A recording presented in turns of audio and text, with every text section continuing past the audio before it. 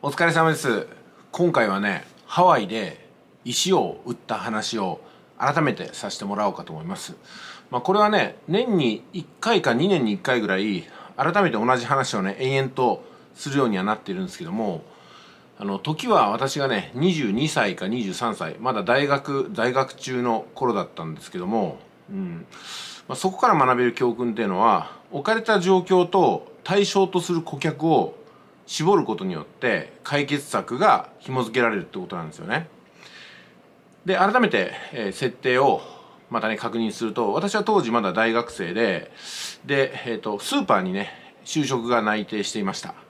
で当時ってのはバブル景気の名残がちょっとだけあって、えー、早めに、えー、内定をいただいてその内定を受けると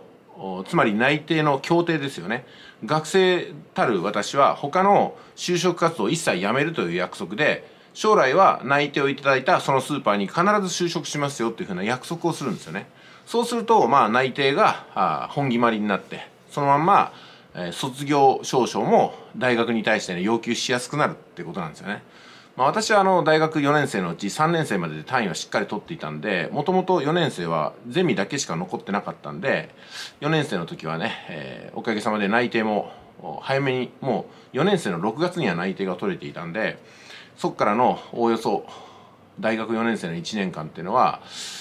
まあ好きなことをしてね過ごすことができたんでますます合コンをねたくさんするようになったんですけども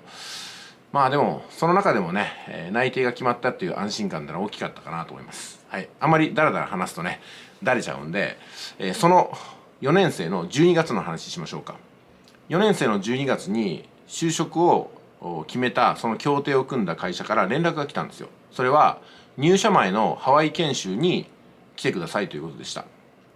えっとね合計で50名ぐらいがね招待されたんですよ。つまり同期入社が50人いるってことになりました。50人というとね結構大きな数に思いますけどもぶどまりって言って最初の1年で大体ね 半分以上辞めるんですよね。それを見込んで大体50人ぐらいを当時のそのスーパーは採用していました。店舗数がね10個以上あったんでまあ50人採用になっても配属先ってのはみんなバラバラで同じ店にそうですね3人前後が分配されるって形だったかなと思います。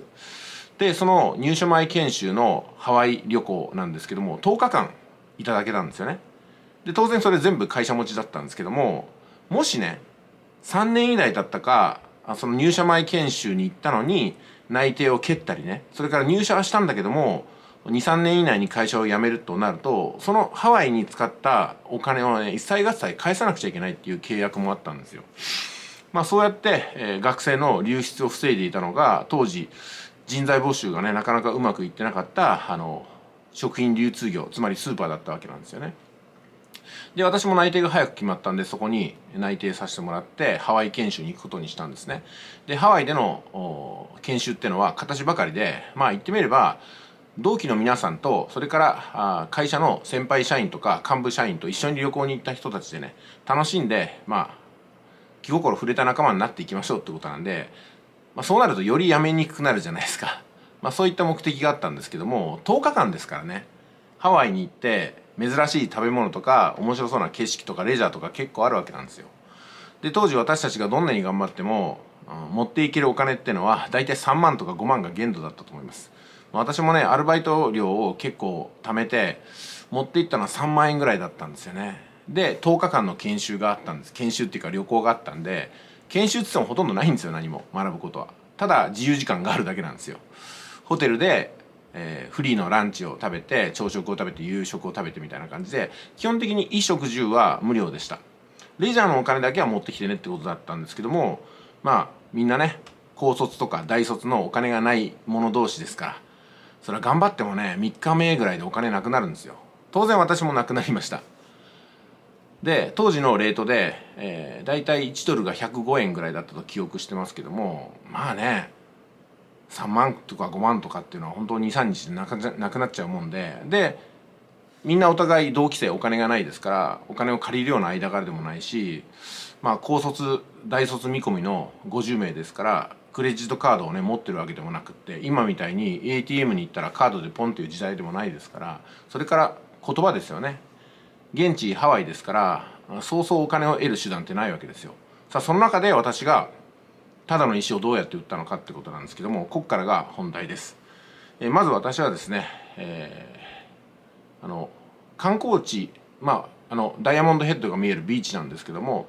そのビーチに、まあ、屋台みたいなのがこうやって出てるわけですよ、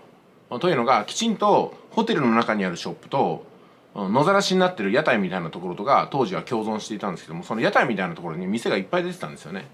で私はまあお金がなんとかねこの中からゲットできないかなと思って。あのアルバイトで雇ってくれるところもねなかなかないですしそれから落ちてるものをお金に換えることもできなくってゴミ箱を見たりとかねホテルに入って無料のものは何かないかなとか探したんですけどそんなに都合のいいものはないですよね。そこで思いついたのが落ちてる石だったんですよ。この落ちてる石をなんとかお金に換えられないかなと思ったのが事の始まりです。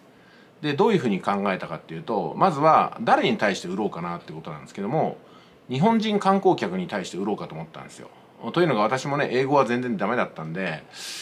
自分の言語を使って商品を売るとしたら日本語が分かる人しかいない。となると日本人観光客になるなと思ったんで日本人観光客目当てに私は日系2世のふりをしてね片言の日本語でその石を売ることにしたんですよ。でその石をどうやって売るかってことなんですけどもよく調べるとねハワイには8つの島があるってことに気がついたんですよ、ね、ハワイ島とかオアフ島とか全部で8つの島からなっているのがハワイ諸島っていうものだったっていうふうに当時あの学んだんですよね。あのそれはねホテルに指してある無料のパンフレットを何とか読んだらそう書いてあるのが分かったんですよ。ですんでその8つのハワイの島からそれぞれ持ってきたラッキーストーンを8つ組み合わせて袋の中に入れてこれをラッキーストーン5ドルですよっていう振り込みで売ることにしたんですよ。であの屋台みたいなところはいっぱい出てるって言ってましたけどもそこでもねやっぱり今日に限って休んでるところっていうのが何店舗かあるわけですよ。ですんで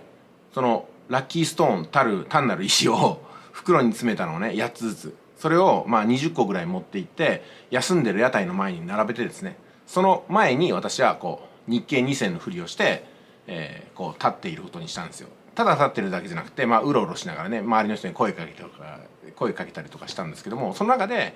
日本人観光客の方かなと思う人にまあ出くわしたんで「はい」っていう感じで声をかけてそしたら向こうもねあの現地の人と喋りたかったんでしょうね、うん、私日本語わかるよみたいな感じでねあのお話に行ったらああなんか助かりますみたいなところでコミュニケーションが始まってで私もねあの片言の日本語をわざと演じながら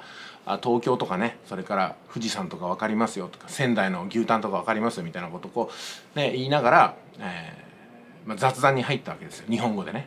で日本語で雑談した後にその観光客の方は一体あなたは何をしてるんですかって必ず聞く瞬間があるんであ私はね父親の代からここで店をやっていて、まあ、今日はラッキーストーンを売ってるんですと。でこれは袋に入ったラッキーストーンを集めてきてねこう8つの島からあの本当にこう運が良くなるような石を集めてきたんでこれを日本人の方にねお分けしてるんです。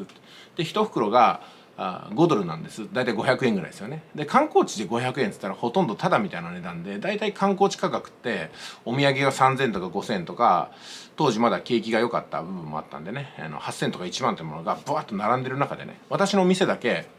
あの500円だったんでよく売れたんですよ。それこそこの手の中に収まるようなものだったんで1人が2個買ってくれる例もありました、まあ、そんな感じでねあの日本人観光客を見つけては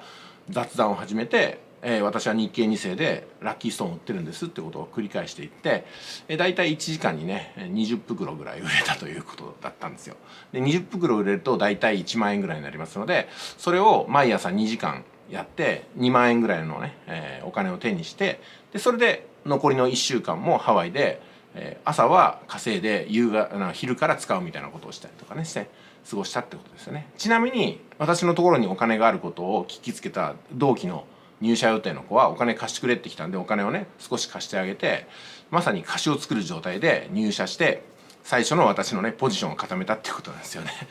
はい、えー、以上がですねハワイで石を売った話になります。でこの他にねそれから十数年後代々木公園で石を売ったって話もありますんでそれはまた次回では。